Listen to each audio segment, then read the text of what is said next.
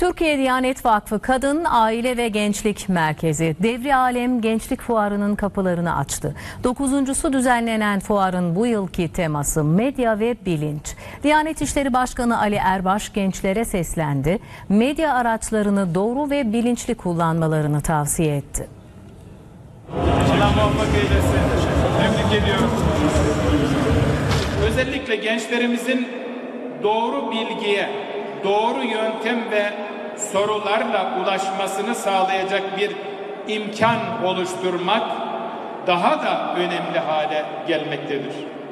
Kitle iletişim araçlarının olumsuz etkilerinden korunabilmek ve risklerine karşı bilinçli olabilmek için daha fazla ve beceriyle donanmanın yanı sıra insani ve ahlaki değerlerin e, belirleyici olduğu bir hayat tarzını benimsemek de önemlidir.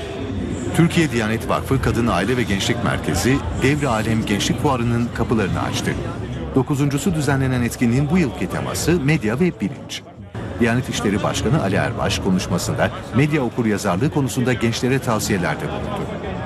Medya araçları vasıtasıyla hayatımızın tam anlamıyla kuşatıldığı böylesi bir dönemde yüce dinimiz İslam'ın evrensel değerlerinden daha fazla söz etmeliyiz. Özellikle medya araçlarını mutlaka bilinçli, planlı ve etkin bir şekilde kullanmalıyız. Doğru kullanmalıyız. Yanlış kullanımlardan her zaman kaçınmalıyız, uzak durmalıyız. 38 sivil toplum kuruluşunun katıldığı etkinlik Ankara Kocatepe Camii Fuar alanında 12 Mayıs'a kadar devam edecek.